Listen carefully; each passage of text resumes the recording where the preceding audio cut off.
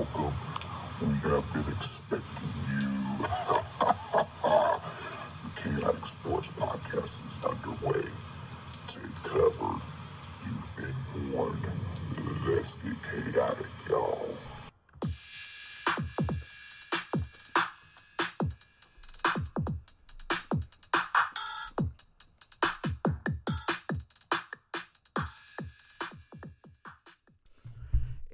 Good afternoon, everyone. Welcome to a very special Halloween edition of the Khaotik Sports Podcast. My name is Patrick Brown, your host and content creator for this beautiful uh, podcast. We've got a lot to dive into today on this Halloween Eve. Hope everybody's having a great and safe weekend so far. If you went to Halloween parties, I hope you all had fun and and enjoying being out with your, your friends and getting dressed up and whatnot. Um, let's just go ahead and get down to the to the topics. We've got uh, Dallas Cowboys defense created chaos for the Detroit Lions last weekend, only only holding the Detroit Lions scoring offense, number one scoring offense, to just six points.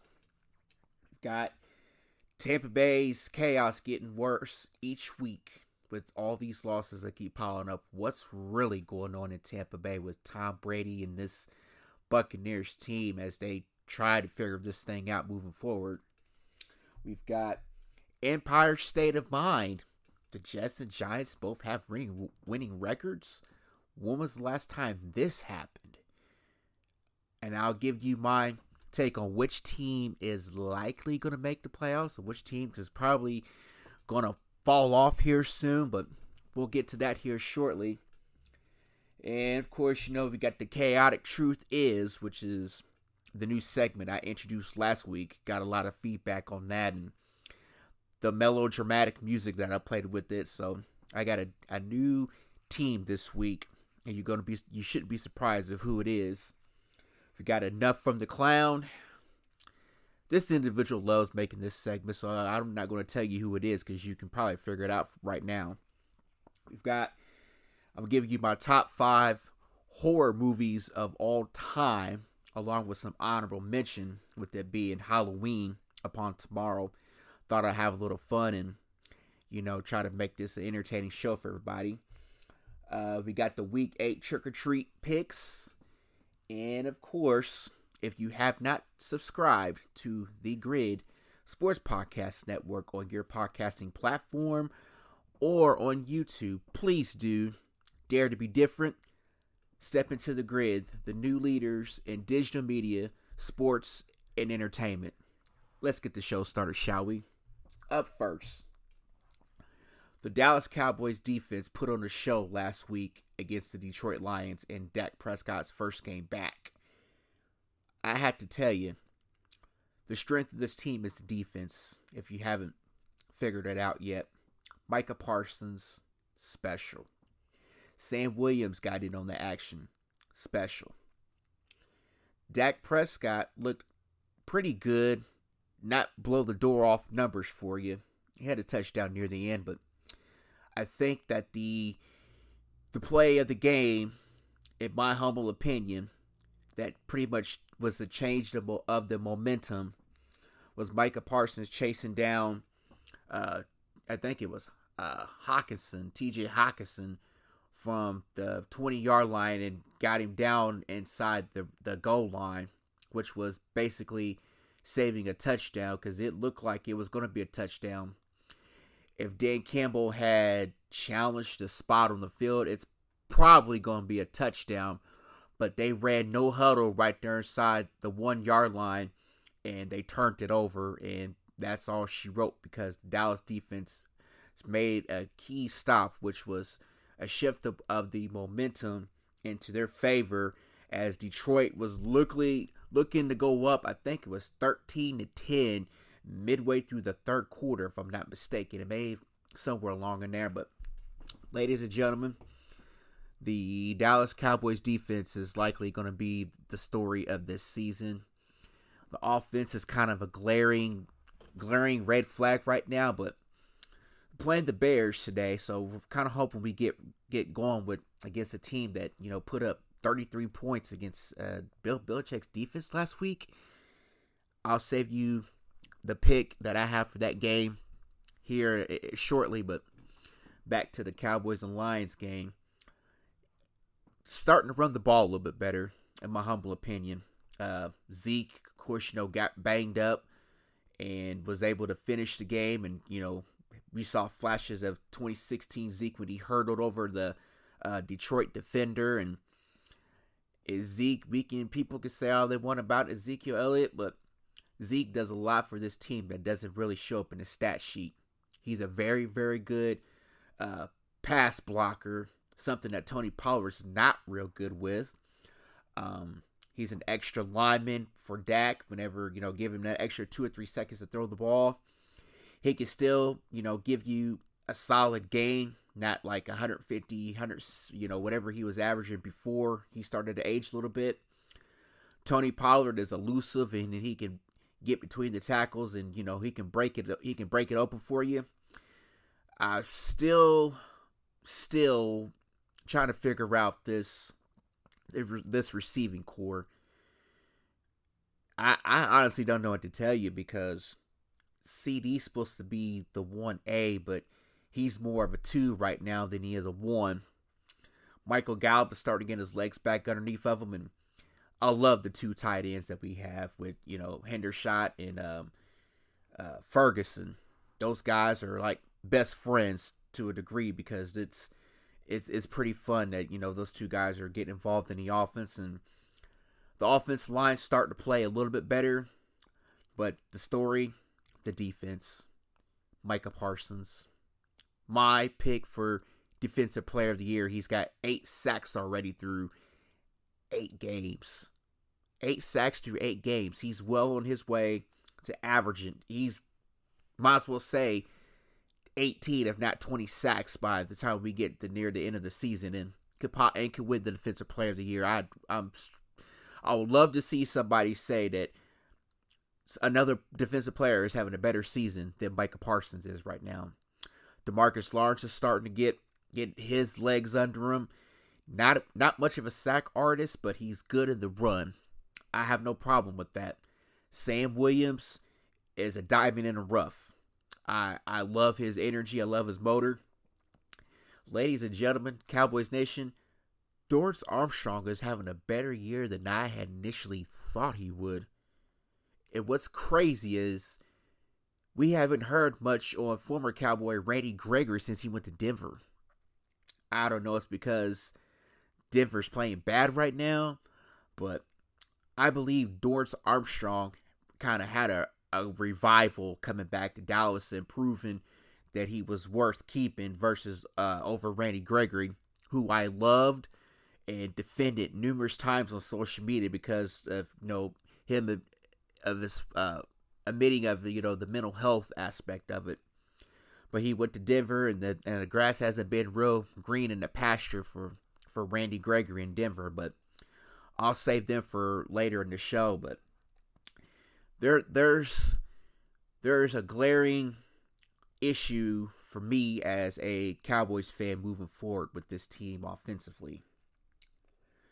The Cowboys are going to have to score points as we get, you know, coming out of this bye, you know, after today, a two weeks off, and then we'll play the Green Bay Packers up in Lambeau Field, and then the Minnesota Vikings the week after before the uh, Thanksgiving Day matchup against the you guessed it the the New York Giants who have a winning record right now. This team will go as the defense goes. I need Dak Prescott to take it up another level.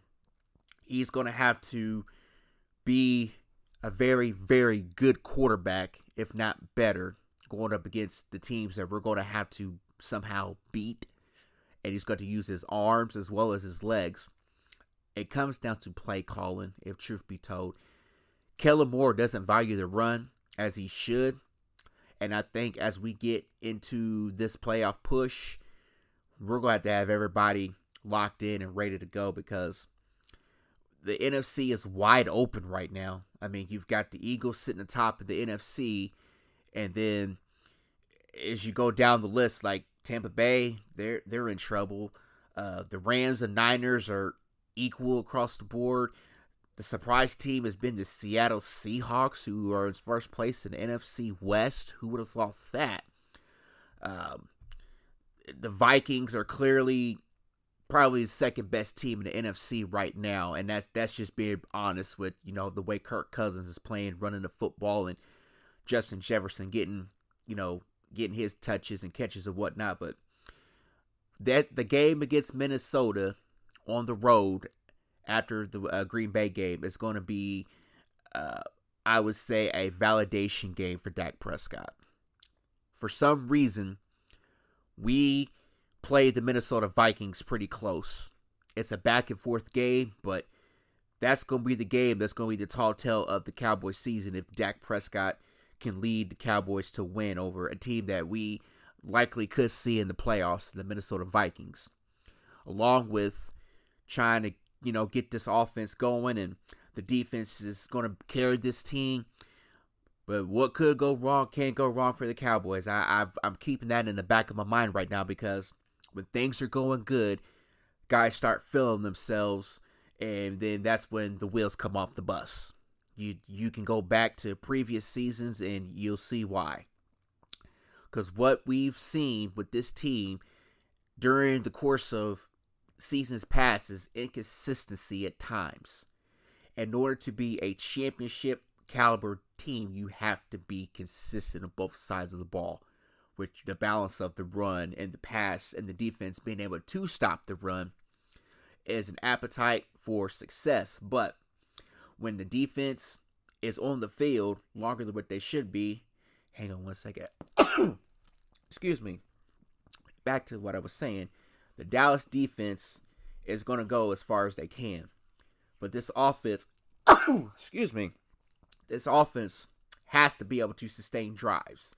And that's no ifs, ands, or buts about this this Dallas Cowboys teams because once we get into late November, early December, it's going to be separating the the pretenders from the contenders, which I will try to do a segment on that as we get closer to the to the postseason, you know, right right around after Thanksgiving, because it'll be the last quarter of the season and with the and everything. But with the trade deadline coming up, there's teams out there that's hunting, and for some strange reason, and my mindset, I believe the Philadelphia Eagles are going to try to trade for Alvin Kamara if the Saints can uh, get their first round pick back. I, I honestly believe that. And if the Saints trade Kamara to the Eagles, it's a wrap for the NFC East. Um, I know that sounds harsh right now being a Cowboys fan, and it, it makes me sick to my stomach. But this is Jeffrey Lurie, the owner of the Eagles, and uh, Howie Roseman, the GM, saying, F them picks. We're going for this NFC. We're going for it this year.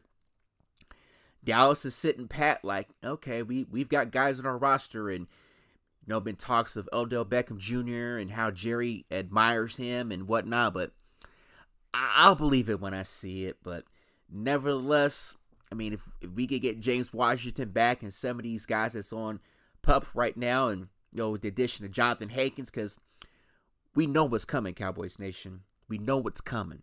You're gonna have you need that run stuffer that's gonna you know put some weight on the back end to help you know get create the pressure on the outside with the back seven.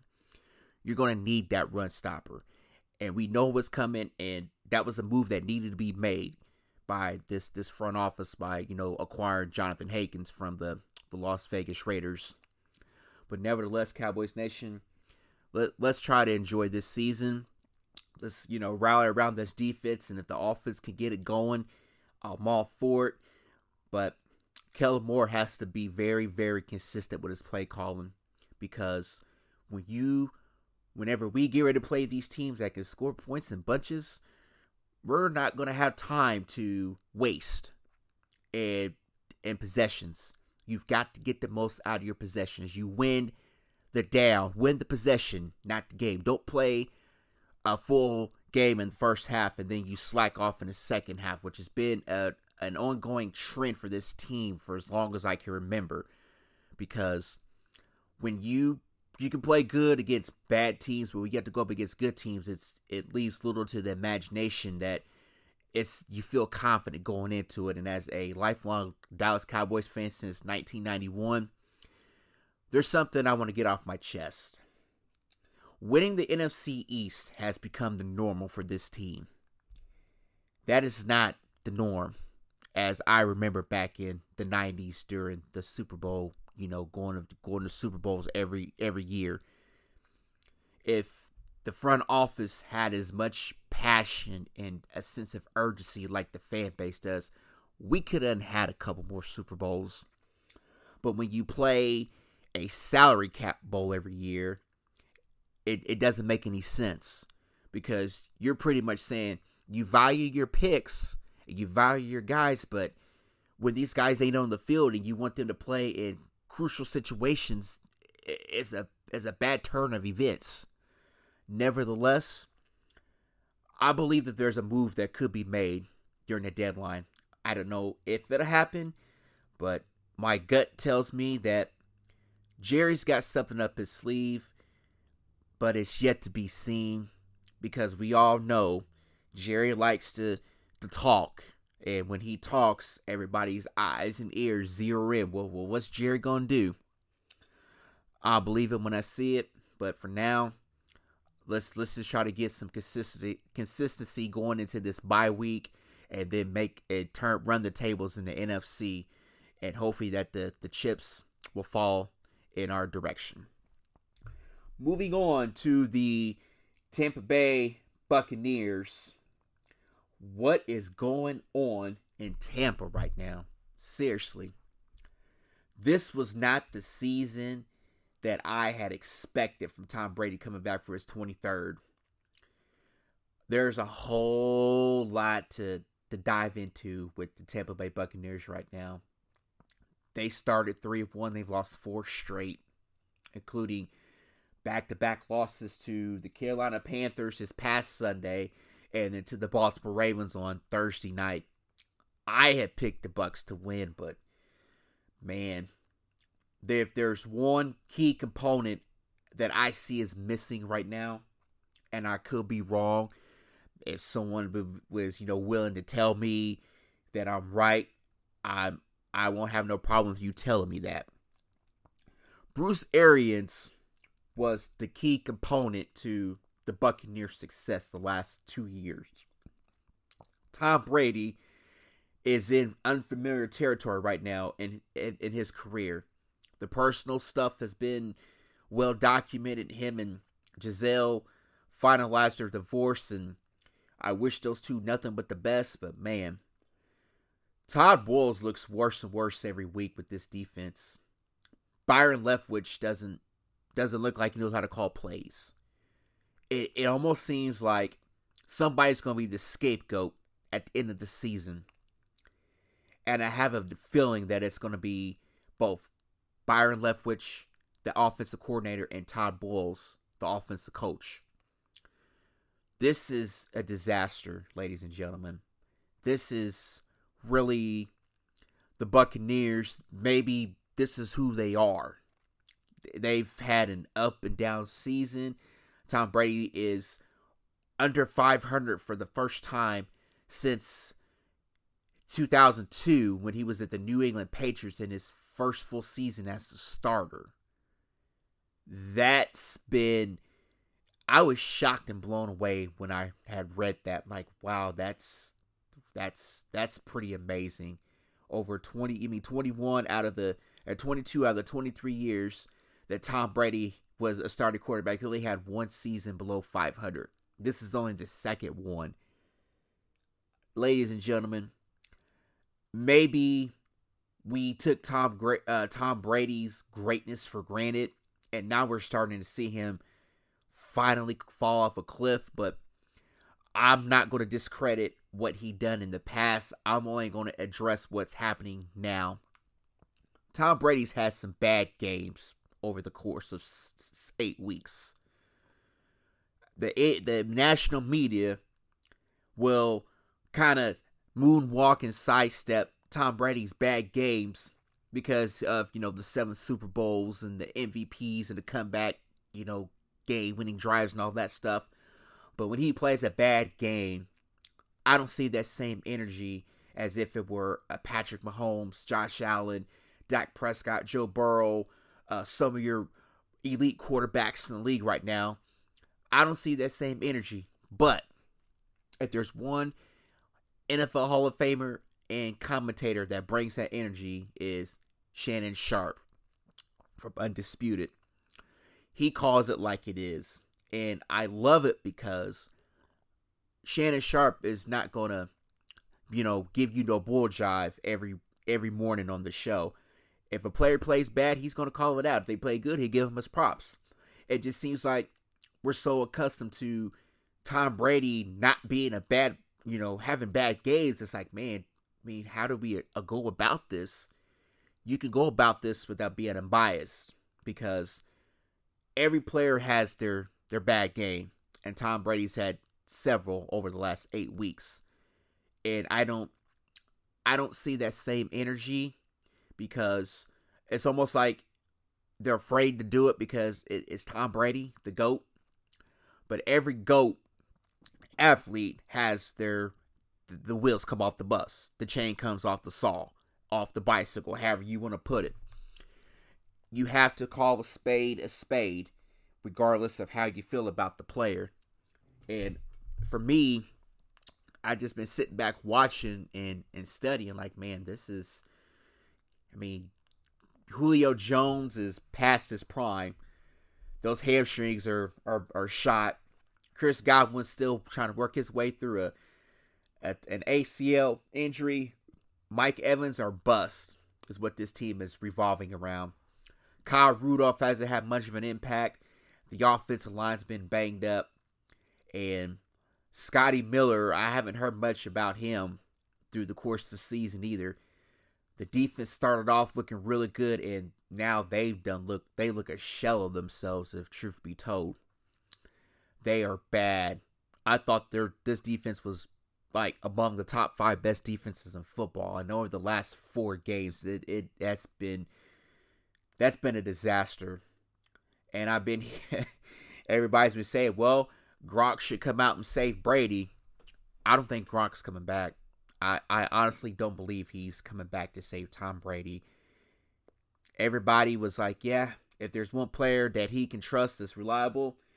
But Gronk, I think Gronk's at peace right now, you know, doing, you know, the Fox NFL um, pregame stuff and all that. He's at peace, you know, not knowing to put, you know, put his body through all that that grind and wear and tear. But in the world of sports, you never know. But this Buccaneers team uh, defenses or this team in general, I think they can turn it around. But they're going to have to they're going to have to make some moves, roster moves, ladies and gentlemen.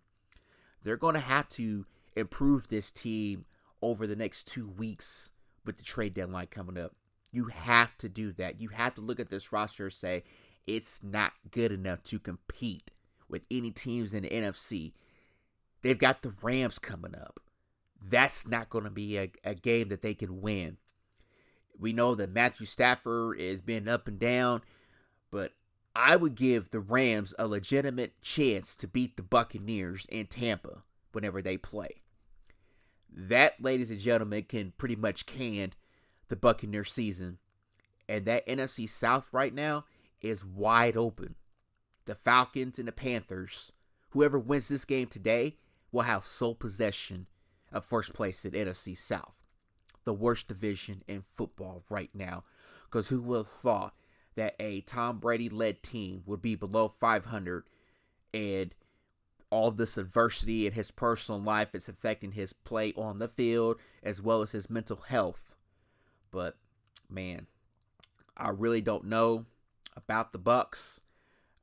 I just hope for the sake of the great Tom Brady that this front office makes some moves to go get him some help. Seriously. I, I mean that wholeheartedly and honestly that they need to make a big splash over the next two weeks.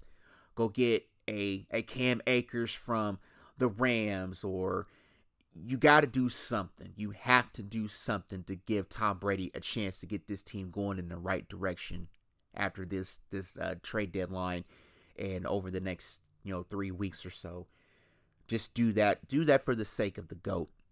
They they could win that division, but it's going to take more than Tom Brady to win that division and host a playoff game and what could be the last time we see Tom Brady on the field unless he miraculously comes back for a 24th season that salvaged what's already happened this year. The Buccaneer ship is sinking, just like the Bronco ship is sinking right now into the Atlantic uh, into the Atlantic Ocean. I just hope for the sake of argument that somebody in their right mind they have a come to Jesus meeting, the offense and the defense. Iron this stuff out. Pay do what you have to do to prepare yourself to be better football players for the second for the playoff push. If not, I don't think I would be able to phantom or stomach the fact that the great Tom Brady is not in the postseason. That would feel really awkward. It's just like when LeBron James is not in the postseason for the NBA playoffs. It'll feel it'll feel very strange not having Tom Brady in the postseason. That that would be hard to to phantom. And what we've always seen the the model of consistency and let's go and something's missing with Tom. Hopefully now that the personal stuff is kind of you kind of settled down a little bit, maybe he'll get going, but I, I just hope for the sake of argument that the Tampa Bay Buccaneers do something. They they have to. They they've got to get this thing going in the right direction. And it starts with Todd Bowles, the head coach, from all the way down to the last guy on the roster. Moving on to an Empire State of Mind. The New York Jets and Giants have winning records for the first time in forever. I find that difficult to believe, but man, the the Jets Sauce Gardner is as good as advertised. I, I have been impressed with this young man. This Jets team has found their niche in a crowded AFC. The Giants, who would have thought that Brian Daboll would come in and they would just be where they're at right now? They are, they to me, the Giants, they've only got one loss, and it's to my Dallas Cowboys. The Giants are relying heavily on Saquon Barkley. They've got a good defense, but it's just do you trust Daniel Jones to make the plays that he has to make? That he doesn't have much of a receiving corps. Kenny Golladay is kind of he's he's hiding right now. They they just traded uh, Kadarius Toney to the Chiefs. That's kind of a blow to the receiving corps, but the Giants and the Jets. If I had to pick a team right now that could make the playoffs, I would go with the Jets the Jets to me can run the table and be one of those teams that sneaks into the into the wild card game and upset the the the four seed or a three seed. They they have the capability of doing that. I believe that Robert Saleh has done a, a an excellent job in his I think this is his second season as the head coach of the Jets. To me, I think when they play Buffalo, that game to me is going to have a playoff implications. You know why? Because whoever wins that game, I think can probably win the AFC East as a whole. The Jets have already beat Miami and they've yet to play Buffalo if I'm not mistaken. But when those two teams match up, uh, I'm looking forward to that game. Uh, Zach Wilson's been pretty good. Uh, I know they lost Breece Hall to an ACL injury. They acquired James Robinson. The offensive line still, it's decent. You know, got Elijah Moore and Denzel Mims and uh, Corey Davis, but it's that's the one area of the team that I feel is kind of a red flag is the receiving corps right now because you, you really don't know the where Elijah Moore is right now. He rec- may have requested a trade. Uh, Denzel Mims had requested a trade in the offseason. And I mean, Zach Wilson's kind of gotten back into a groove, but I think they're gonna you know rely on their defense. Their defense is, is good. Uh, Sauce Gardner, like I said, is as good as advertised. The Jermaine Johnson has been a fairly good draft pick for them out of Florida State, the defensive end. But I, I think between the Jets and the Giants right now, I, I would take the Jets to play spoiler in the postseason. They're going to give uh, that three seed or four seed uh, a run for it, however their record may fall, because I, I believe that they can do that. They're going to make it interesting. Far as the Giants, they've got they still got a ways to go. I mean, Brian Daboll probably the lead candidate for coach of the year in his first season. Do I believe they could make the playoffs? They can. But how bad do they want it? Because it's going to come down to Daniel Jones. If you got to rely on Daniel Jones to make a play with his arm, that's an appetite for disaster. Because Saquon Barkley has been playing fairly well. If Saquon goes down, that's it for the Giants. They they have no other offense outside of Saquon. Daniel Jones has been playing okay, but I don't trust his arm and whenever it, it's time to go make a play. Brian Daboll has been playing to Daniel Jones' strengths and he's kind of found his his role as a quarterback. But this is a make or break year for Daniel Jones.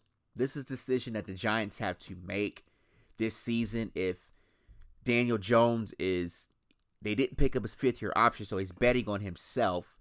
Saquon's up for a new contract as well.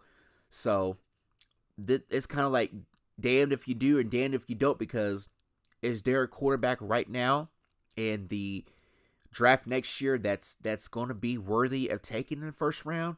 I mean, Hendon Hooker from Tennessee is balling right now, who is my pick to be the Heisman Trophy winner. You've got uh, the quarterback up in uh, C.J. Stroud in, in, at Ohio State. You got the uh, quarterback from Kentucky, and I mean, you, it's just it's a slim picking in the quarterback position right now going into the draft. So the Giants, as a organization, they're going to evaluate Daniel Jones at the end of the season in order to make a decision to bring him back for you know take give him a maybe a smaller contract, but this is it for him in New York. If he can keep this team above 500, I, I think they have no other choice but to bring Daniel Jones back because what other options do you have? Because if you don't bring him back and you go in a different direction, then who's to say the quarterback that you that you take doesn't pan out the first year and then you're wasting a season. But nevertheless, I believe that the Jets have a better chance of making the playoffs. The Giants have a long way to go, and it's going to be interesting whenever they get to this playoff push to see if they could keep, you know, stay above, you know, 500 because they still got to play the the Commanders and the Eagles twice, and they're playing Seattle today on the road in Seattle after playing in Jacksonville last week, which was a crucial stop by their defense as you know time expired to beat the Jaguars last weekend, but the the Jets Go Jets, J E T S, Jets, Jets, Jets, as they continue this flight and this little streak that they go on. But shout out to the fellas over at Fan Perspective Podcast, John Rivera and, and Henny Dre. Go check their podcast out as well on, on YouTube and your podcasting platforms. And Albert Parsar Jr., who's the host of the Rocket Fuel, uh, a New York Jets podcast on the GRYD Sports Podcast Network. They're, those guys are Jets fans and I bought stock on the Jets for this year, and hopefully my pick is right in the next few weeks that the Jets will be in the playoffs come January, either as a as a four seed or excuse me, not a, a five or six seed, and playing spoiler to one of the the three seed or the four seed in the uh, AFC playoff picture. Alrighty, time for the my new segment that I got a lot of feedback on last week. Uh, the chaotic truth is, but before we do that, I want to go ahead and get this segment out of the way. Enough from the clown. I'm just going to get this segment out of the way before we get to the chaotic truth is because this this individual has made the that made the segment uh, the last two out of the last three times I've I've had this segment. But without further ado, I'm going to let the great uh, actor Michael Jai White introduce the Enough from the Clown segment. Enough from the clown. Enough from the clown. Yes, enough from the clown. And this week's winner is, you guessed it, Antonio Brown. Welcome back to Enough from the Clown segment winner. You are the winner this week, Antonio Brown. As you all know, AB is the king of trolling. And he sent out a meme last week. Well, not yeah, I don't know. No, it was a it was a tweet, and he was taking shots at you know the Buccaneers and Tom Brady after they lost to the Carolina Panthers. And the tweet read, "Tampon Bay and Tom Booty." I cannot make this up. And then he ended the tweet with, "You dig." Yes, AB, we see you it's a good thing you're not on the football field. It really is. I I've actually have enjoyed myself and being able to watch football games without you being an idiot. But since you have nothing else better to do with your free time but to troll Tom Brady and your former teammate, uh, your team, the Buccaneers, I I want to say this, and correct me if I'm wrong. Antonio Brown, Tom Brady went to bat for you more than any player has in throughout your career. This man let you stay in his house in Tampa. He you he let you move in with him so you could be on your best behavior. It was okay. You got along, y'all won a Super Bowl together, and then the wheels came off. We all know what you pulled last year and what you've been doing in the offseason, trolling Tom Brady and the Buccaneers and diving into his his personal matter with you know his wife Gisele and everything they're going through right now. You had the nerve to get on a podcast. I don't know what podcast it was, but he was asked about taking shots at Tom Brady, and he said it is what it is. Well, it is what it is that uh, the goat let you stay with him and try to keep you going in the right direction, and that's the thanks you return to him. Antonio Brown, enough of you for the last time, I hope. But we all know that you can't act right whenever you get in front of a microphone and camera. We all know this. You're you love to talk. You're lucky that you're not facing any more lawsuits at the moment for that little stunt you pulled over in Dubai, you know, getting your your naked behind all up in that you know woman's face and all that, showing them your your growing area and at the hotel pool. You're luckily you're not facing charges for that. But when push comes to shove, it seems like Antonio Brown just has to remind us just how much of a clown he is every week, and that's nothing new under the sun. Um, I hope that this is the last time that I talk about AB that's not football related and it's not stupidity, but in the world of social media, we're always going to see something that AB said or tweeted out, and we're going to sit here we're talking about it. It's kind of difficult to explain to kids how an athlete who was on Hall of Fame trajectory and threw it all away for stupidity and his shenanigans and immature childish behavior. We're going to get to a point where AB's not going to be welcomed anywhere.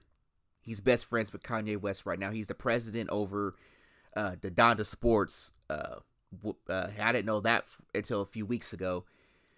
And speaking of which, he released a statement about what was going on with Kanye and his his whole the backlash that he received for his comments, his anti-Semitic comments and whatnot. And I read the statement. I was like, "There's no way in hell that he wrote that statement. It was too articulate. It was. It was like this is not AB's writing. This is this doesn't sound like AB. This sounds like someone said, "Okay, we're going to make sure we get this right because if you say something, it's going to be the context is going to be taken out of proportion. Credit to the individual that released a statement and it was on AB social media.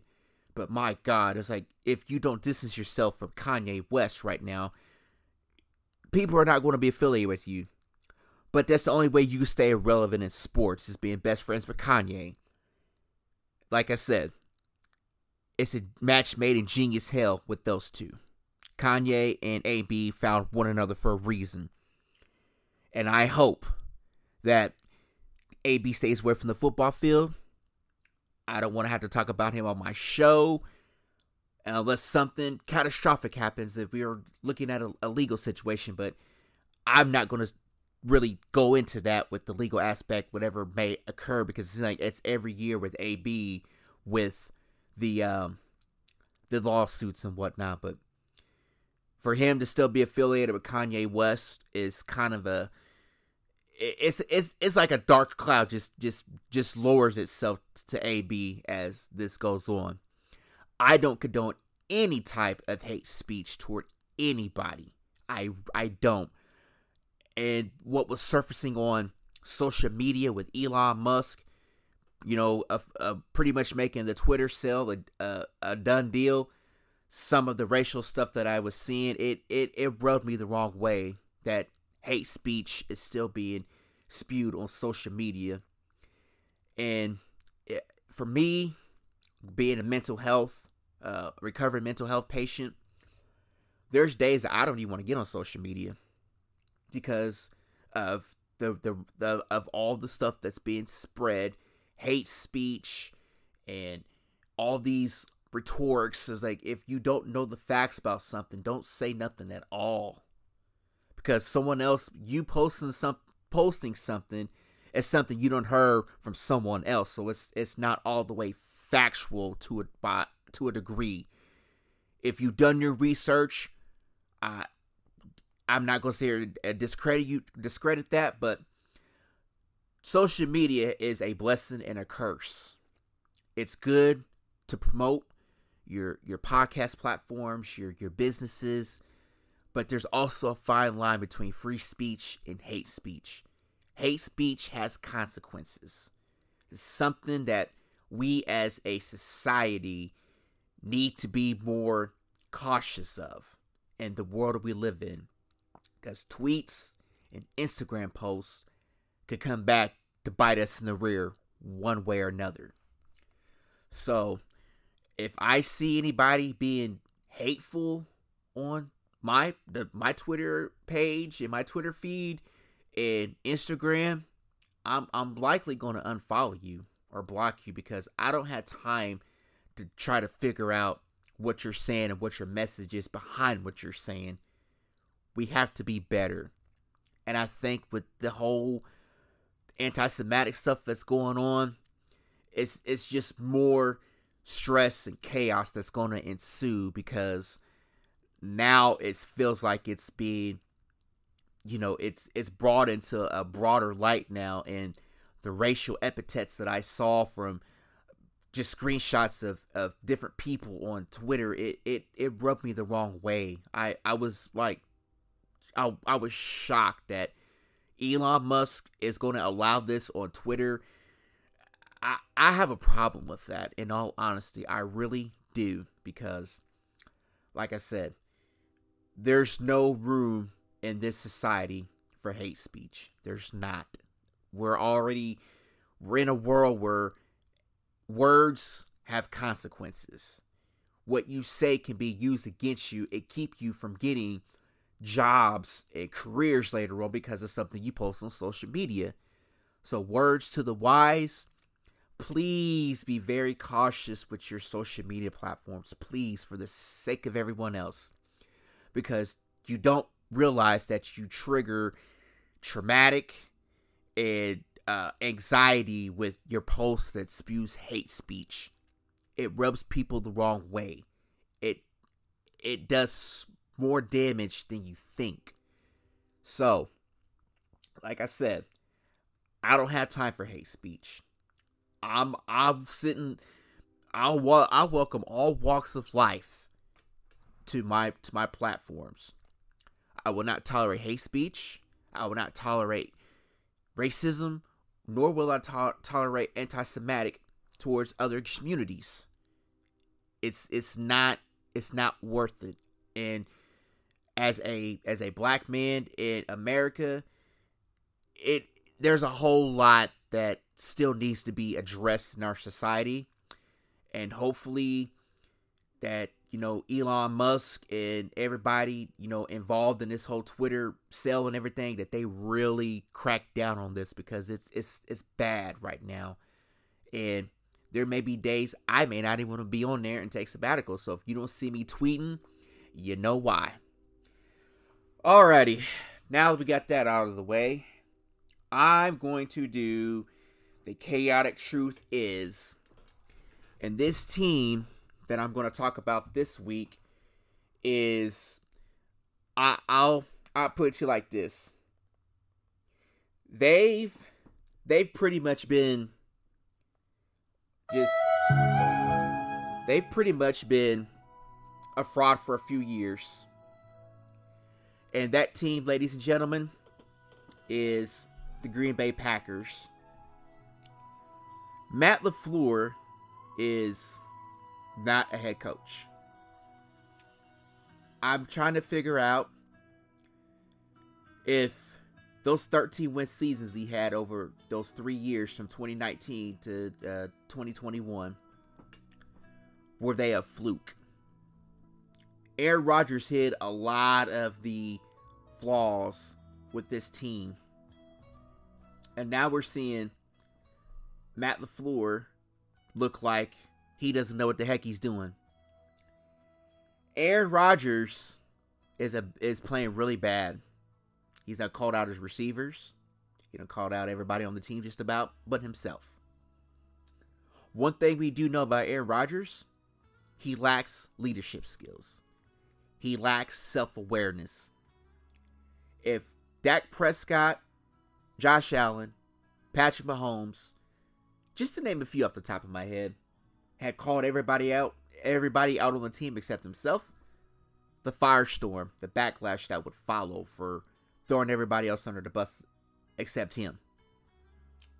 As we all know, Aaron Rodgers is a kooky, weird individual the last few years from what I can see. The Green Bay Packers are they are the classic case of high end, successful team, low rewarding. It makes me feel like that the Packers are probably going to blow this team up after this season. Not having Davante Adams as your number one receiver, there's a reason why Davante Adams went to the Las Vegas Raiders to join forces with his college teammate Derek Carr. 200 million reasons why I felt like the Packers were not going to be a, a, good team this year. So far, I've been right. There was a lot of people high on the Packers because, you know, yeah, there's you still got Aaron Rodgers. Who's he going to throw the ball to? Davante Adams is gone. You got a Sammy Watkins who cannot stay on the field to save his life. His career is pretty much done. Got Allen Lazard, uh, uh, Christian Watson, who's a rookie and Tonyan's working his way back. Offensive line is decent. The defense is hit and miss. You still got Aaron Jones and AJ Dillon. That's it. Aaron Rodgers, it may be the greatest thrower of the football and holds all the whatever you want to call it. He's built his reputation throughout his career off of what the media has said about him. But when it's time to lead, Aaron Rodgers leads himself, not nobody else. It's not a franchise quarterback, in my opinion. You've got your head coach looking like a dummy every week. And I don't think he even knows what he's getting himself into uh, most of the time. So I'm starting to question their their partnership. Is Matt LaFleur really that bad of a coach? Is we're seeing it. His counterpart, who was the offensive coordinator, Nathaniel Hackett, We've seen what he's about over the last several weeks. But the Green Bay Packers, they're I don't think they make the playoffs. I don't. That that's just the chaotic truth. I don't believe they're making the playoffs. Not not right now. Not this season. Aaron Rodgers got what he wanted. He got more money. He uses that he used that as leverage for the Packers to push all their chips to the table. Even though he's back to back league MVP, he's only got one Super Bowl, ladies and gentlemen. One. And it's been over a decade since they won that. And that was back in 2011 when Mike McCarthy was the head coach. Aaron Rodgers is one and four in NFC playoff games, NFC championship games. One of you can't make this stuff up. Aaron Rodgers, great regular season, but Aaron Rodgers in the postseason is not that good, and the records speak for itself. I'm not a big Aaron Rodgers fan. I always thought there was something fraudulent about him over the last decade or so because everybody it's like he got coddled. He got coddled because when when the going got bad they always had aaron rodgers. Aaron rodgers bailed him out. But when the team failed to failed to launch it's everybody's fault but aaron's. And that's not a franchise quarterback in my humble opinion so if i'm the green bay packers is jordan love your quarterback of the future moving forward no, he's not. If you think Jordan Love is going to come in next year and be your starter, you're you're you're dead wrong on that one. You might as well go out and draft a quarterback in the first round. Because Aaron Rodgers is going to find a scapegoat at the end of the season, and it's probably going to be his head coach. He would throw his head coach under the bus. It would make Matt LaFleur look like a dummy like he is right now. He deflates blame to everyone else except himself. But he'll go on the Pat McAfee show every week and, and do what he does. And then he'll come to the media and lie through his teeth. One thing we do know about Aaron Rodgers, he's immunized from the postseason. That's a fact. Go back to last year. He talked all that about wanting he wanted the NFC to come through Lambeau, and he didn't want to have to travel. They lost a divisional playoff game to the 49ers and only gave only scored 10 points. 10 points, ladies and gentlemen. 49ers, as much incompetence as they have with Jimmy Garoppolo, went to Green Bay and, and beat the Packers in that cold, frigid, snowy divisional game last year in Lambeau. That to me right there was the undoing of the Green Bay Packers. Because this team failed on many levels.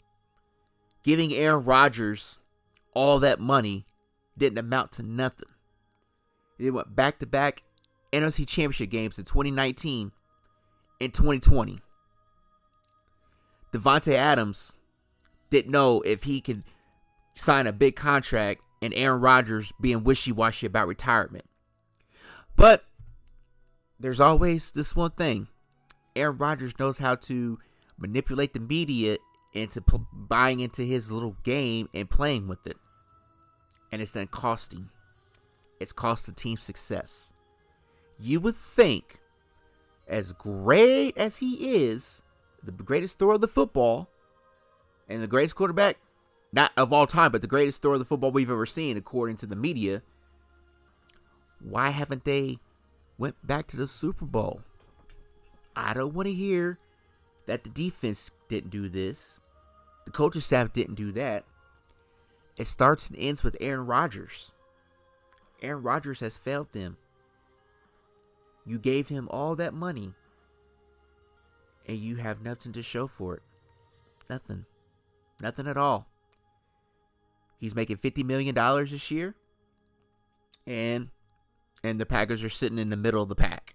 No pun intended. They got a game tonight in Buffalo. I'll give you my score prediction for that game here in a little bit. But as we as we really get into the second half of the season, I think the Packers on trajectory to finish in 7 and 10. I think they are. It's going to be 7 to 10 or 8 and 9.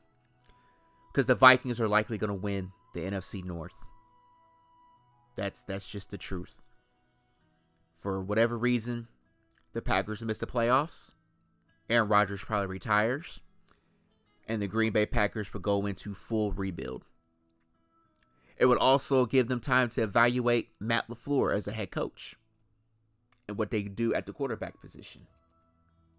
For me, as a football fan, if I were in the Packers front office, you're going to have to draft a quarterback that you're going to have for a decade plus. Whoever that may be, you're going to have to rebuild this offensive line, and you're really going to have to spend some money in a very competitive NFL because we've seen teams in the past that trade away picks to go get players that's going to help them win now. Green Bay is a very small market. They're not going to get a whole lot of big name free agents. They have to build their team through the draft. And once Aaron Rodgers is done playing, that's it. The Packers should just be a, a, a middle of the road team. They will. It feels like Aaron Rodgers' career is murky to a to an extent. Aaron Rodgers is slowly but surely falling from being, you know, a, an elite quarterback.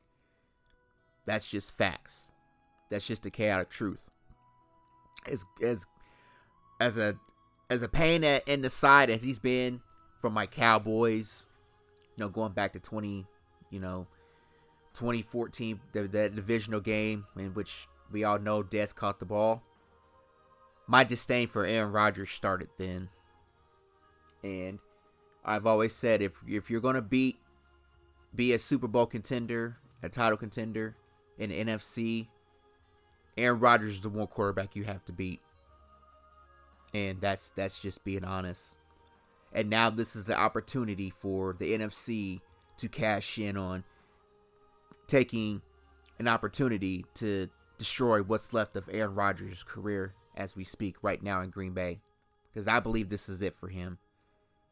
He may retire, but we don't know. Unless there's a team out there that's that needs a quarterback, that's not sure if a quarterback in the draft is going to, you know, be there that they can develop. But in all honesty, I think he will retire.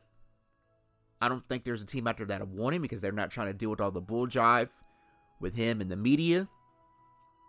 Nevertheless, the the Green Bay Packers are not making the playoffs, and that is the chaotic truth.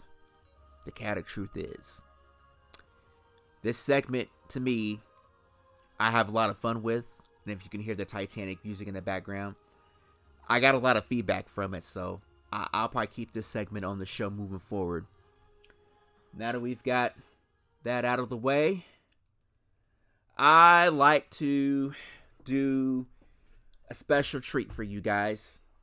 Um, Halloween is not a favorite holiday of mine, but as a someone who watches a lot of older movies and television shows and things of that nature. I thought that it was only right that I put together my uh, top five horror movies of all time with some honorable mentions.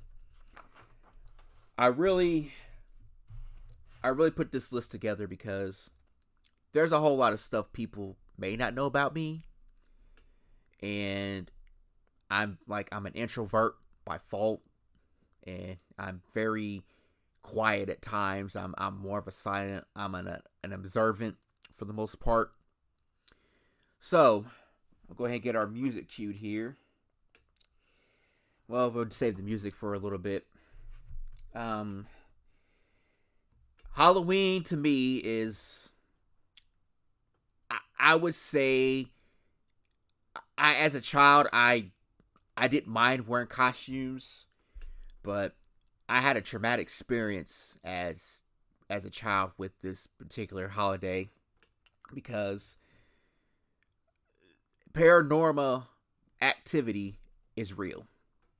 And the reason why I say that back whenever I was a a child, about I'd say it was about maybe five years old, six, somewhere along up in there, and we were at my grandparents' house for that was the Sunday after Halloween because the Simpsons Treehouse of Horror is usually aired right the Sunday after uh, the World Series concludes. It's the first Sunday of November. And of course, it was me, my brother, and my cousin.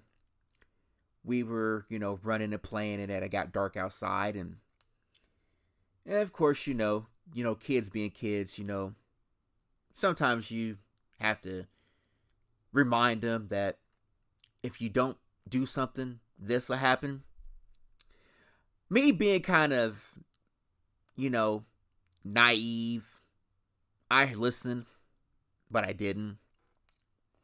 My brother and my cousin, they were, you know, ripping and running throughout the house and and my my grandmother has said, "Well, y'all y'all better get somewhere and get still. Not the uh, the boogeyman's going to get you. You know, when you're a kid, you you think that's hilariously funny because, like, yeah, right, that that does he that doesn't exist. That's that's just fiction. That's just a movie. Well, that was that was strike one. Strike two.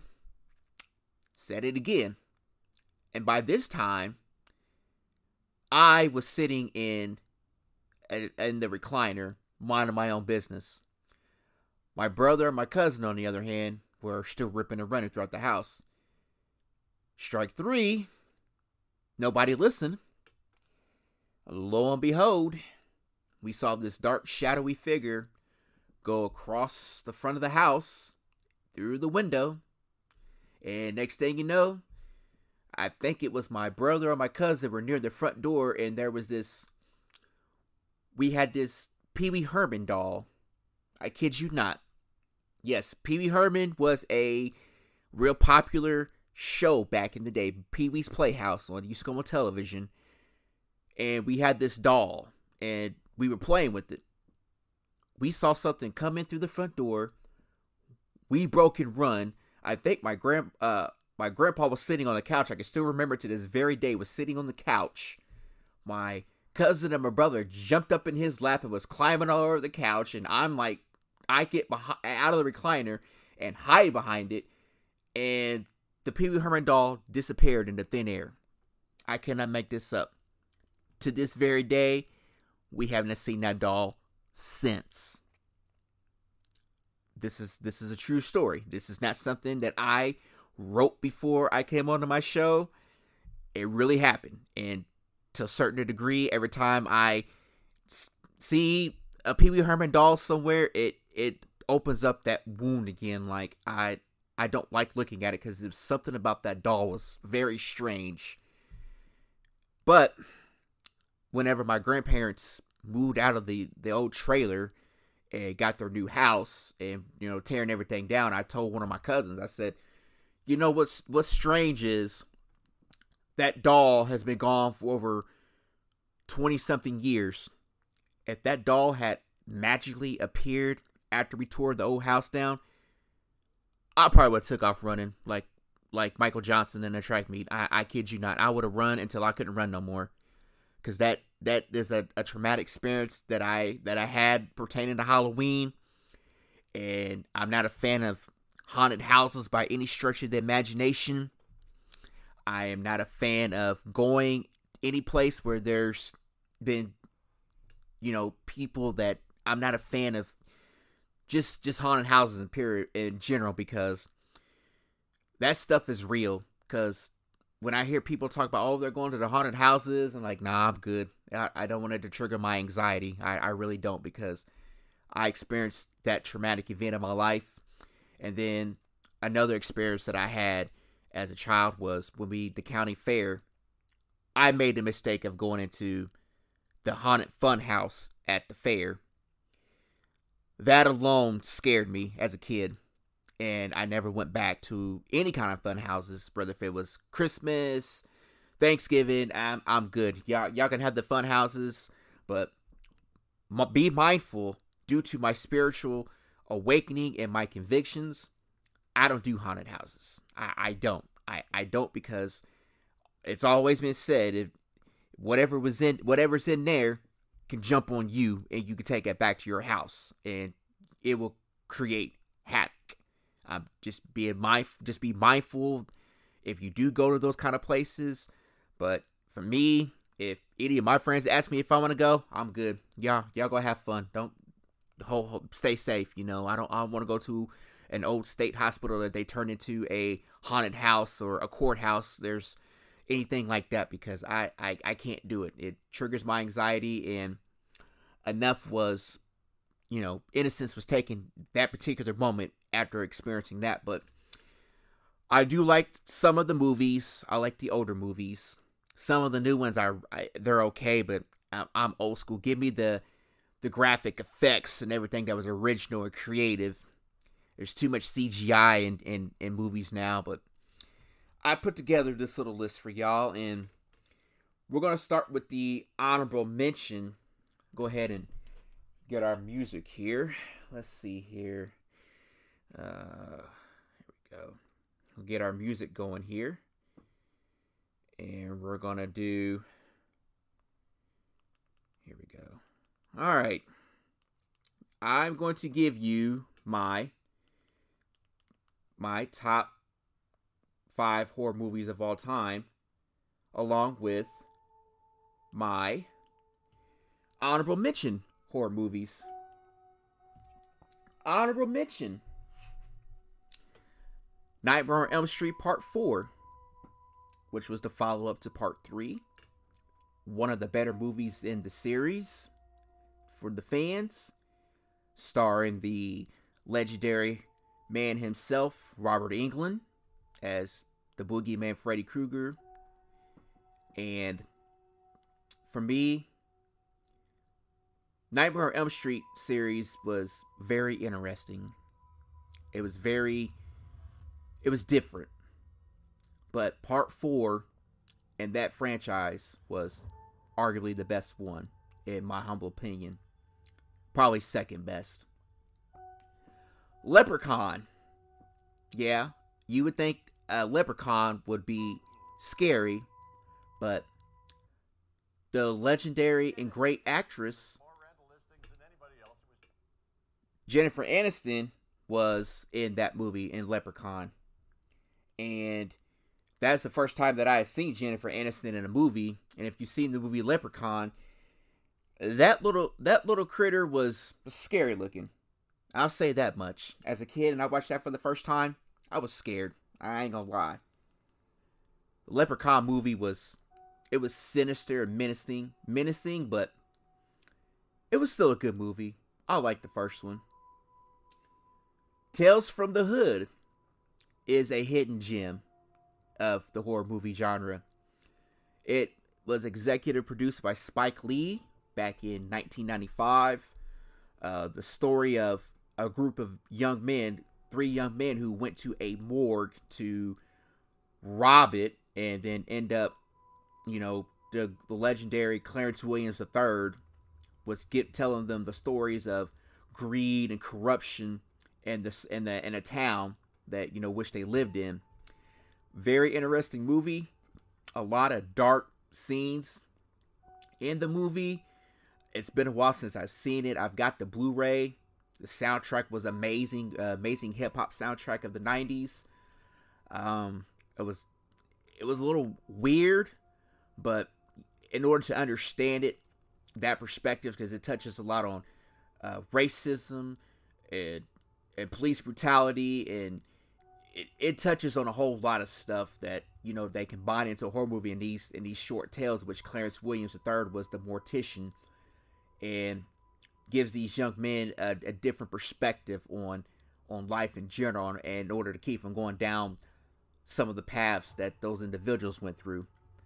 It's it's it's interesting.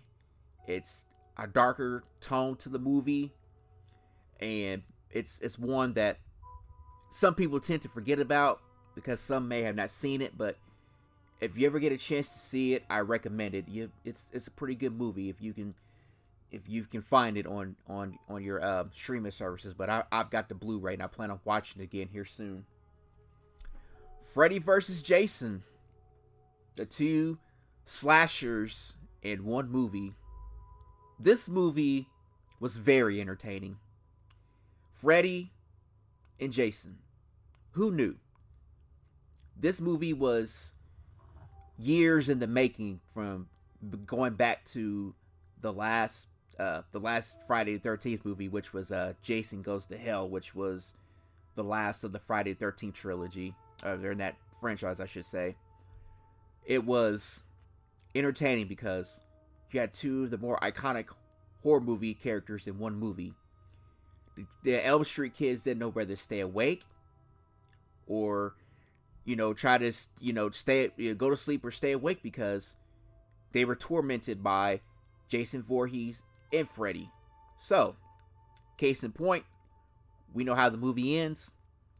The the heroine who uh I can't think of the, the lady's name, Laurie, that's her name, Laurie defeats Freddy and in the, the final battle actually was Jason that defeated Freddy. But the movie ends with a a cliffhanger because at the end of the movie Jason Voorhees is packing Freddy's head, and then Freddy uh, winks his eye because it was like it was an even draw. But it was pretty cool to see both of those in the same movie together. That was uh, fall of 2003 because I went to go see it in theaters with my cousin. We went to go see it that particular evening, and I got a good kick out of that because I thought that was it's like wow. I was like I wasn't really scared, but the people that were in there were screaming. I'm like ah this ain't nothing. You know, you know, I was 17 years old, so I was like, ah, this movie ain't gonna be scary at all. I, I got this. You know, it was. I think it was more of a of a comedy than a scary movie, but the movie did fairly well in the box office.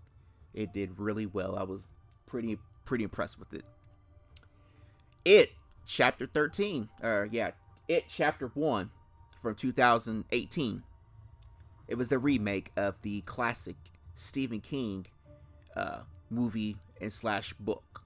If you've never seen the original with Tim Curry, it's decent, but when they rebooted it and and they did it in 2018, man, you want to see some gore. That movie was pretty gory in a sense where the kill scenes were more dramatic. You felt them. The guy that played Pennywise the clown nailed it. The dude was he was a sensational Pennywise. I got to see the sec the sequel the following year, and it was decent. I, I liked it, but the very first one, uh, that one was was was really awesome. There's a reason to this day, I, am not a fan of clowns after seeing it. I, I kid you, I kid you not. I don't really care for red balloons. I just look at them like, uh, why does it remind me of it? Because something always happens when a, when a red balloon busts in that movie. It was it was like a warning before destruction. And Pennywise was just he was very he was very cruel. It was a menace, sinister. I mean, terrorized a group of kids in a small town and even terrorize them as they were adults because they never forgot about it. But nevertheless, it chapter 1 from 2018 pretty good. It's it's really good. If you haven't seen that one, I recommend it. All right. Now to the top 5 horror movies of all time. My list. Number 5, Candyman, the OG version from 1992 this movie in general was it was strange because I really didn't quite understand the story until recently when I went back and watched it again. It's it's it's pretty messed up in all honesty. It's pretty messed up.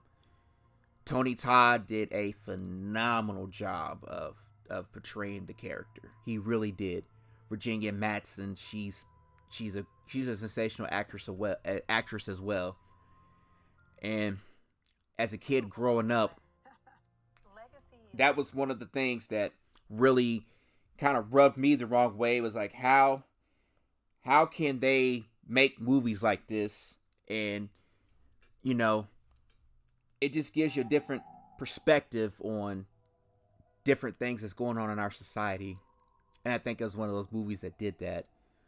Um, a man that was draped in honey and then stung by a bunch of bees, and he had a hook on his right hand. That was scary. That that was scary because I I never want to look in mirrors after seeing that movie as well. I know that sounds, you know, crazy, but when you're a kid growing up, that's something your parents say. Don't don't say don't say his name in the mirror like that because bad things could probably happen. And to me, Candyman is one of those movies that pretty much kind of reshaped the horror movie genre during the 90s because it felt like Friday the 13th and and Halloween and Nightmare on Elm Street had had ran its course. So we needed new terror in the horror movie genre, and, and Candyman brought just that. Number four, Child's Play. The very first one. The Good Guys doll. Ladies and gentlemen, who would have thought that a doll would bring terror to one little boy? Andy. True story. The county fair here in my city every summer had a, uh, a like a little game where you could win prizes and of course you know was always the basketball the one that I like to play the basketball game you might step up make a shot get a prize they had a nerve to put a good guy's doll as a prize now, remind you, I had already experienced one traumatic event in my life with with with uh with horror with a with a ghost. Now you torment me with Chucky, the good guy's doll. Lo and behold, I made the shot, and the guy asked me, "Did I want a good guy's doll?" I said, uh, uh, "No, sir, no, thank you. I'll, I'll. What else you got besides that? Because I'm not taking that thing home with me." He says, "Well, you got I could give you a little stuffed animal." I was like, "Uh, I'm really not into stuffed animals unless you got a lion." Well, we don't have lions, we have cats. I'm like, "Okay, the cat it is." Child's Play to me was a different movie. How could something that small do that much damage to human beings and terrorize a little boy? If you've ever seen Child's Play, I recommend it. They rebooted the movie a few years ago, and it's pretty good as well. But Chucky is a sinister little boy. Well, it's a grown man trapped inside of a doll's body. The spirit, I should say. And there was, I think, five movies because they had three, and then they had The Seed, The Bride, and The Cult of Chucky thereafter, and then they rebooted Child's Play itself, and then they had a couple more movies, spin-off movies. But Chucky is one of those horror movie characters, a doll with orange hair and a and these this this sinister laugh. It just like when you see it, it's like ah, get away from me. Again, Child's Play was one of those movies that came out during my the er, my early childhood in the 80s and I can remember watching that every almost every year, but nevertheless, that's my my top four, my number four. Number three, Friday the Thirteenth, Jason Voorhees, Camp Crystal Lake. We all know the the story of Jason Voorhees, the, the, the plot. A kid that was a social misfit was pushed into the into the lake and he drowned while everybody watched and the counselors didn't try to save him. He comes back to haunt the, the counselors at Camp Crystal Lake with a machete. What's the golden rule throughout the, the movies for the counselors? You never want to be in the woods with your with your boyfriend or girlfriend and out there alone in the dark. You never want to do that. And for me, that was Jason was more of a he was more of like someone that you really couldn't defeat, but the only way you would defeat him is is put him near water. That was his weakness. But that franchise went out for forever. It felt like because there was like Jason takes over Manhattan, and then it it kind of got silly after the the first two. It kind of it kind of got silly because I think takes Manhattan was in 3D if I'm not mistaken. One of them was in 3D, and that was it was like man, this movie has not run its course. Let's just you know stop where it's at. But being the popular horror movie character that he was, Paramount just kept making them. They just kept making them because it was it was a it was a box office success. But there come a point in time where you have to stop. But little Snowville, Hollywood has to keep this thing going, and they did until all the way up until uh, Halloween or Friday the Thirteenth, or Jason X when Jason was in space. That was probably the dumbest one of the of the whole series. Was the, the was that was that one in particular. Number two, Halloween, 1978. The night he came home, Michael Myers. Michael Myers is one of those horror movie characters. That mask alone is still popular. It's been one of those movie franchises that has done fairly well. Michael Myers to me is I see him, it's like, man, that's a big dude. And how he's been portrayed over, you know, throughout the franchise and, and I think it finally come to an end with this last installment of Halloween Kills. I mean, hopefully this is it.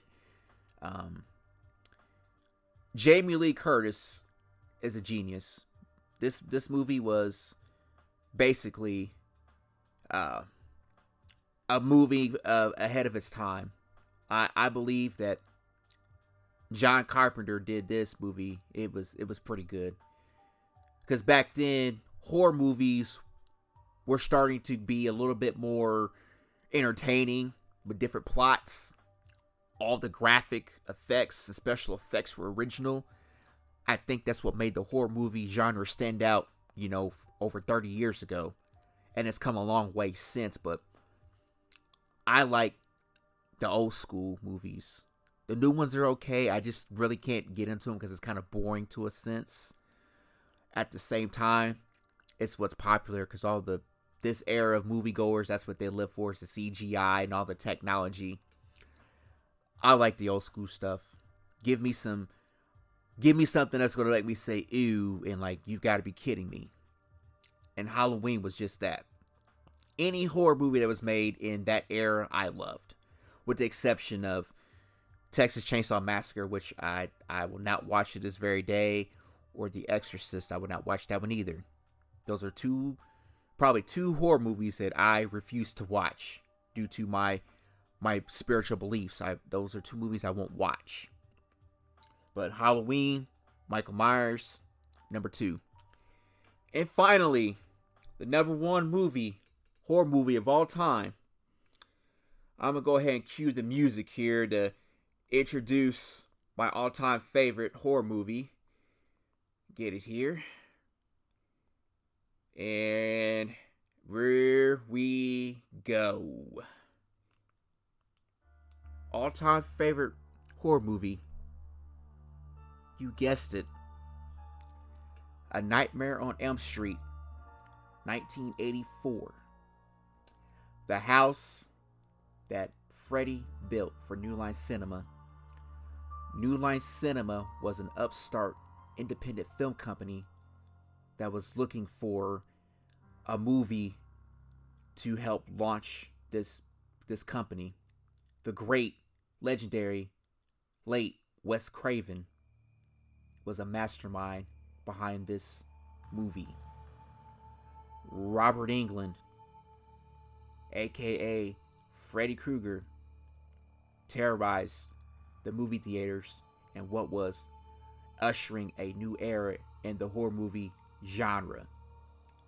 Separation of fantasy from reality.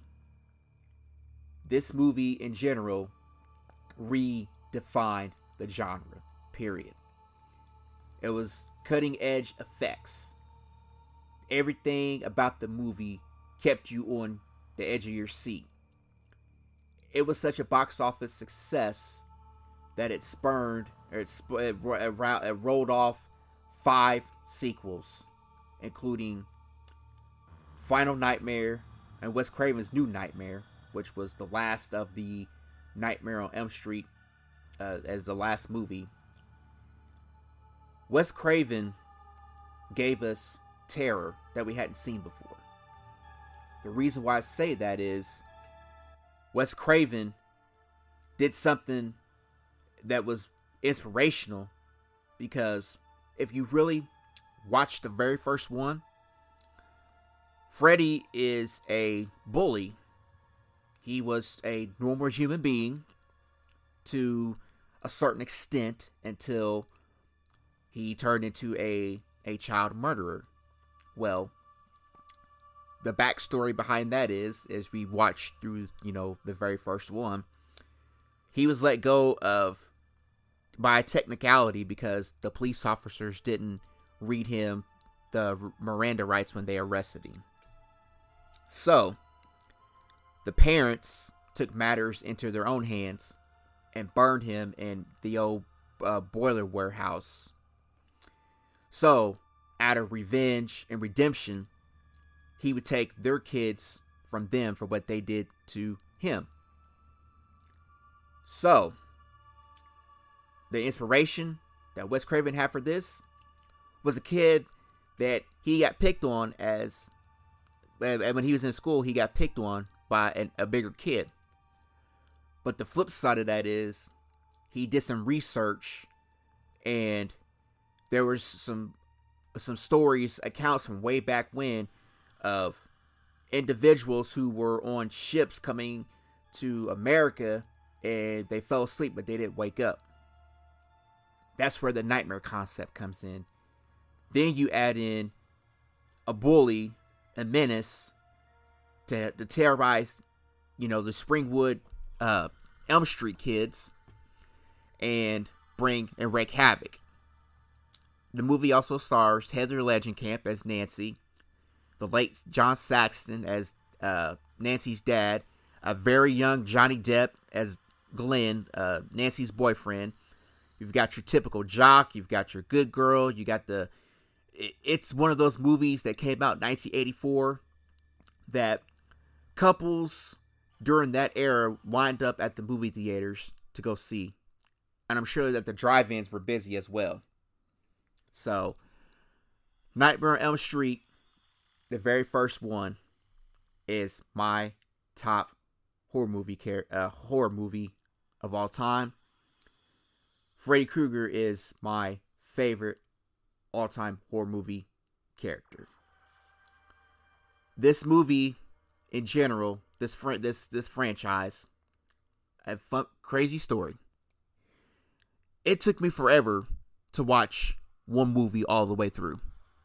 I, I kid you not. I was I was scared watching it because of the the the burnt skin and the makeup and you know razor claw and you know it's just you knew there was terror on the horizons whenever you saw the girls jump roping and that whooshing sound and that nursery rhyme. That was your warning before destruction.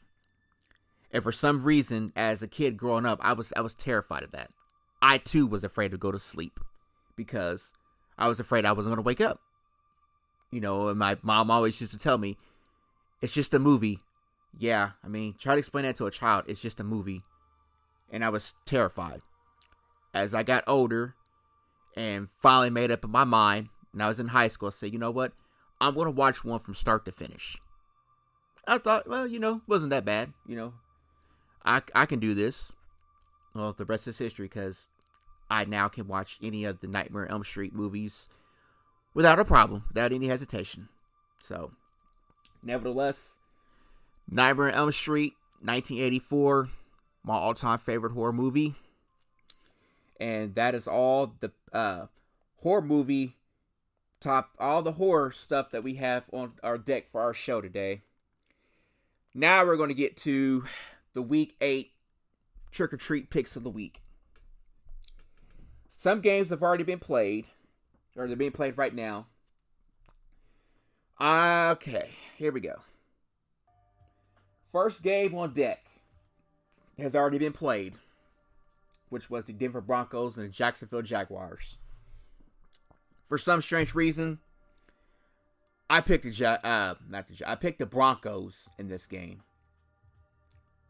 I don't know why I did, but they won. They won today.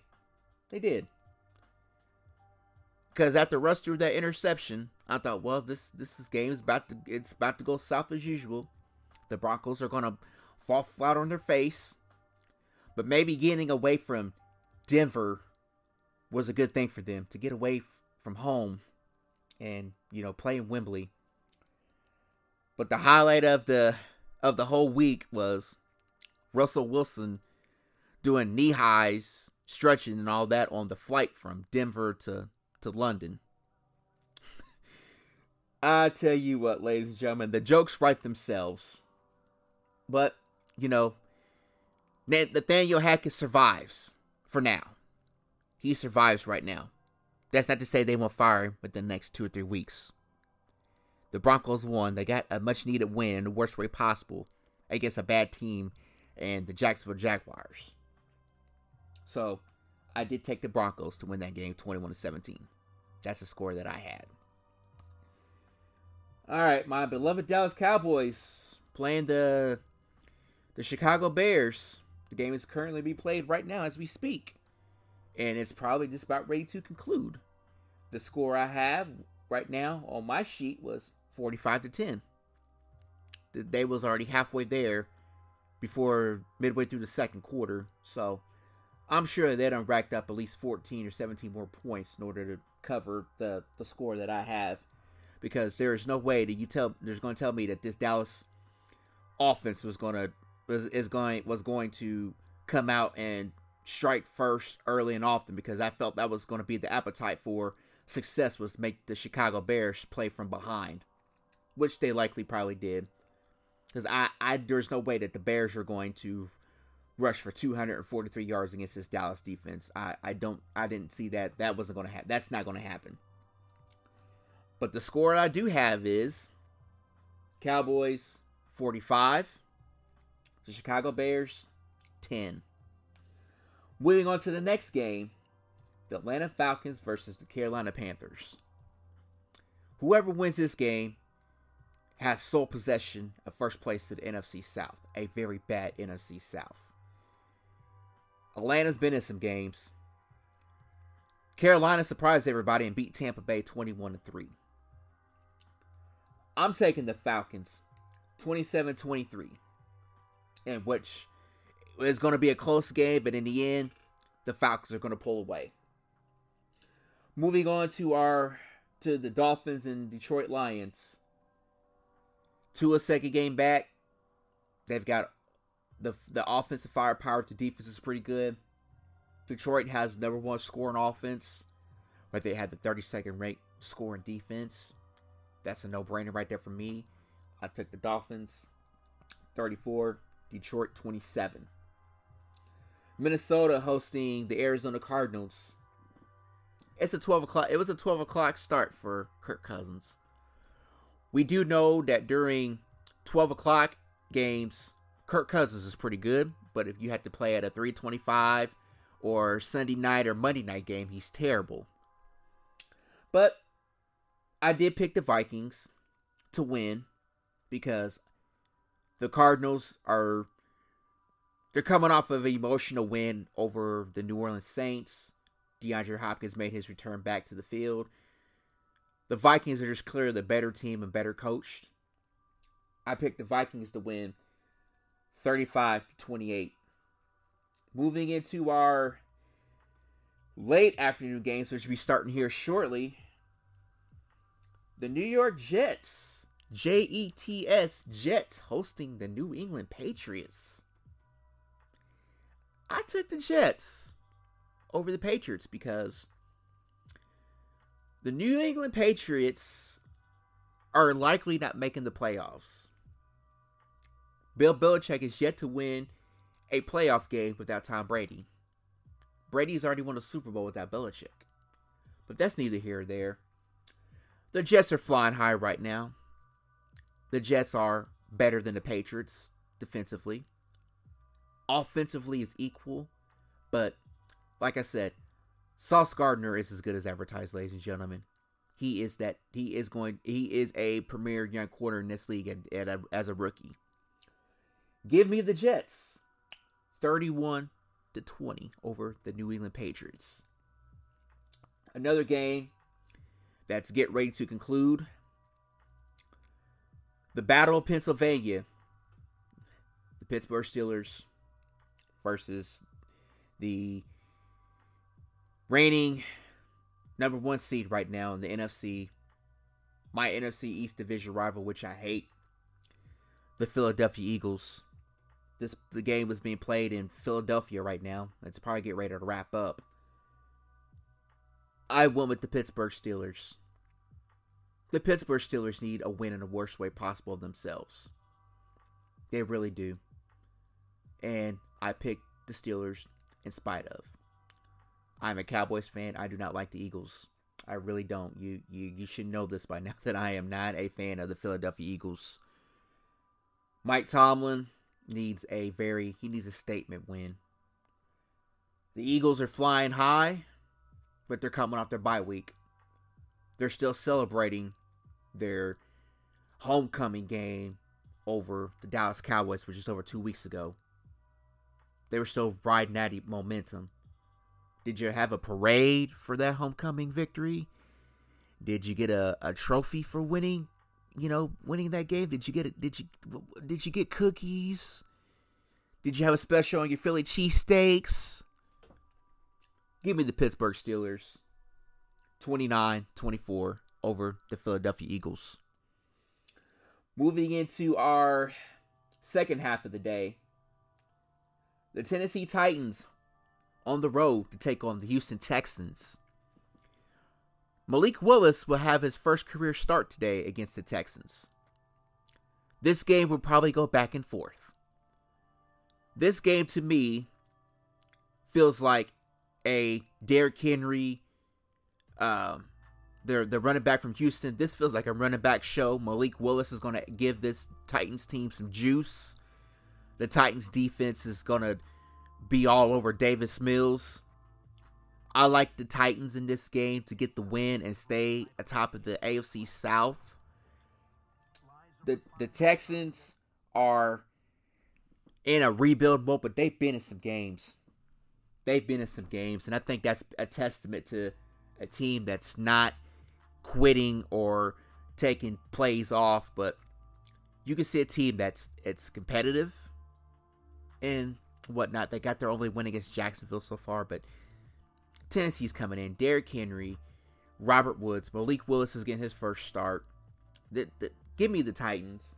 The Titans will win this game 31 27 over the Houston Texans. Another game, which is. It's more of a trick game because I went back and forth with it.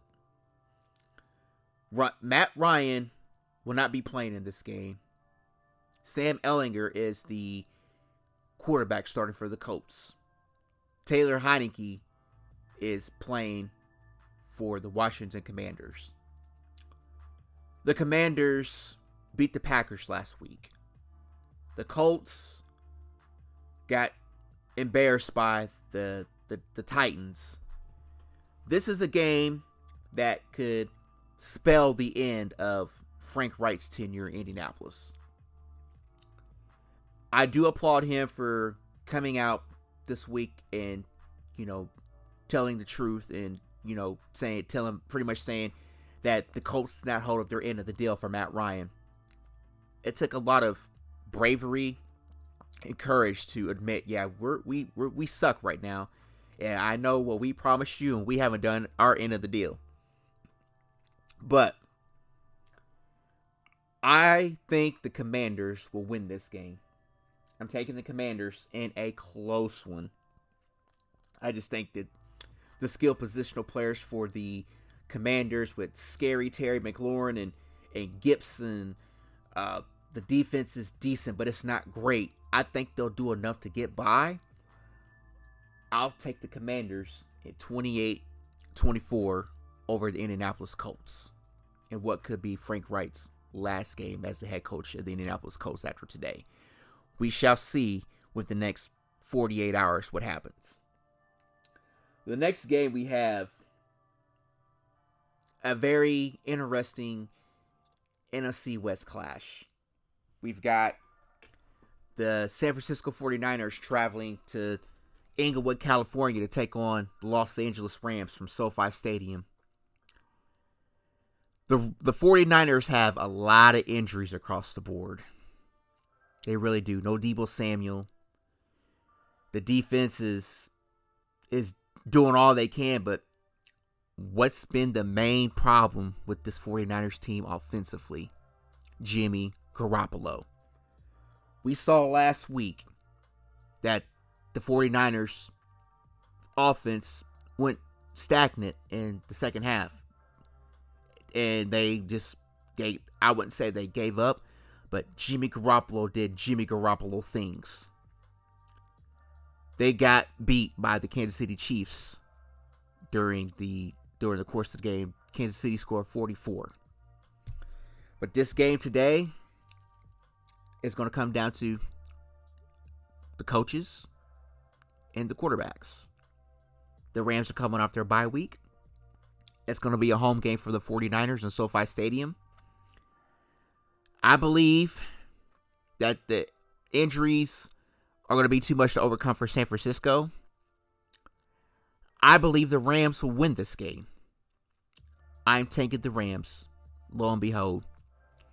If Deebo was playing today for the 49ers, I would give them a, a legitimate chance. But there's no Deebo Samuel. Jimmy Garoppolo still your quarterback. Christian McCaffrey played in the second game as a San Francisco 49er. Give me the Los Angeles Rams to get back to their winning ways. 27 to 17 over the San Francisco 49ers. Moving on to another game which is a trick that I went back and forth with. The Seattle Seahawks hosting the New York Giants. The Giants playing the second of their back to back road games, playing in the Pacific Northwest. This is a game that's going to be interesting. I really do believe that. Geno Smith has looked like a quarterback. Kenneth Walker is it looks like he's going to be a cornerstone player for this team moving forward. The defense is kind of starting to get a little bit better. Pete Carroll, uh, a veteran coach. I it, it this was this this game could go either way. Can Daniel Jones play a mistake clean football game? I see the Giants losing today, their second loss. Because I think when it boils down to if you have to rely on Daniel Jones to make a play with his arm, he's going to throw an interception or an incomplete pass. I will take the Seahawks to win this game and stay in first place in the NFC South. 31 to 23 over the New York Giants. To the let's see here. We've got the Las Vegas Raiders traveling to the New Orleans Saints today. This is a no brainer for me. The Saints are just clearly bad. The Raiders are starting to ride it in the right in going in the right direction. I like the Raiders more than I like the Saints in this game. Davante Adams, well, should cook Marshon Lattimore. The Saints defense is terrible. It's not what the it's not what we thought it was going to be. The quarterback carousel between Andy Dalton and Jameis Winston is not working. You only have Alvin Kamara, Chris Olave, Michael Thomas is it, it feels like his better days are behind him right now, but since he's since that ankle injury, I like the Raiders in this game. I really do.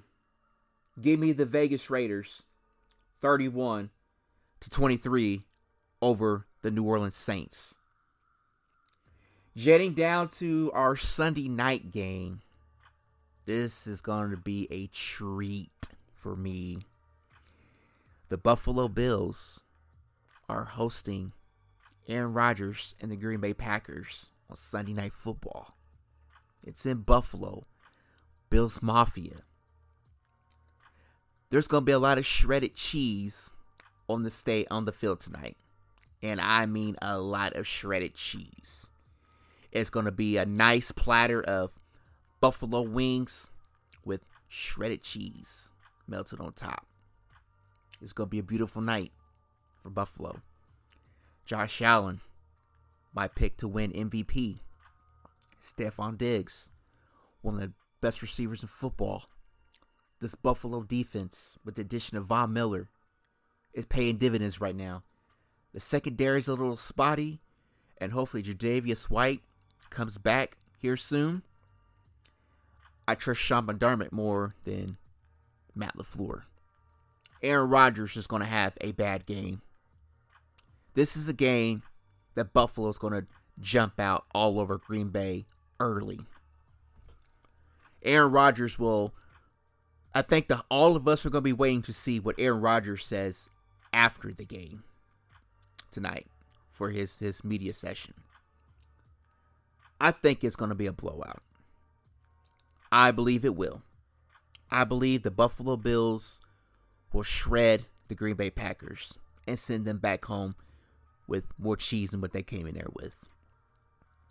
With that being said, give me Buffalo 40 to 21 over the Green Bay Packers. To our Monday night game, our Halloween trick or treat game. Woohoo! Eat some candy for me, if you will. We have the Cincinnati Bengals taking on the Cleveland Browns from. It's a road game for them in Cleveland. No Ja'Marr Chase.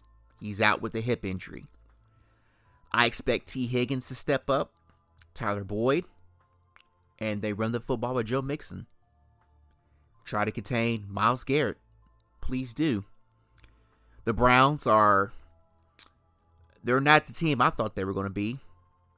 I mean, Kareem Hunt's about to get traded this week, and he's likely going to a contender, whoever that may be, whether if it's Buffalo, Philadelphia, a team that's in a is get ready to go for you know make this final push to be a title contender. The Browns are they'll do Cleveland Brown things. Mark Cooper have a nice game for the most part. David Njoku, the tight end, he'll have a nice game. But in the end, it's the Cleveland Browns. I trust Joe Burrow more than I do Jacoby Brissett. With that being said, I'll take the Bengals 34 to 23 over the vision rival Cleveland. To our Thursday night game, week 9. It's a short week for both of these teams. The Texans will host the Philadelphia Eagles. I'm taking the Texans in an upset. 27 21. Because there's the Eagles are going to be feeling themselves, and the Heat's really going to start to creep in as if they can stay undefeated. They're bound to lose one of these two games, either to Pittsburgh today or Houston on Thursday night on a short week in which they'll have to travel. I think Houston gives them a run for it. I think Houston will run the ball on Philadelphia. And I think that their defense would do enough to keep Jalen Hurts and this high potent offense in check. Because if there's one thing the Eagles will do, they will overlook their opponent. Because they're still celebrating beating Dallas. And they'll probably celebrate that game until December 24th, whenever we meet again in Jerry World on Christmas Eve. I am taking the Houston Texans 27 21 over the Philadelphia Eagles. That is all of the Nightmare on Khaotik Street that we have for today. I hope you enjoyed this show. As always, make sure that your mental health is in a safe space. Make sure that your mental and your spiritual, physical, and intimate health is all in a safe space as well. Please stay safe if you take your children trick or treating. Kids, stay together in groups. Make sure you have flashlights. Parents, please make sure you're checking the, the candy bags to make sure that there's nothing wrong with the candy in general. Just everybody, stay safe. Enjoy the rest of your weekend. Enjoy the rest of your day. And I'm going to call it a day. I am going to log off out of here. And I'm going to leave you with a little treat of a very a very interesting individual that I that has been a big impact in the horror movie genre himself. Let us go ahead. This is all of the chaos for today. I hope that you have enjoyed my show. I will see you all next week. Be sure to like, share, comment, subscribe to the content on the GRYD Sports Podcast Network. Be sure that you check out the rest of the content as well from our uh, content creators. And most importantly, stay safe. God bless. Until next week, we are out of here. And I'm going to leave you with the great Vincent Price from the the closing seconds of Michael Jackson's Thriller, which happens to be my favorite Halloween theme song of all time, favorite music video of all time in general.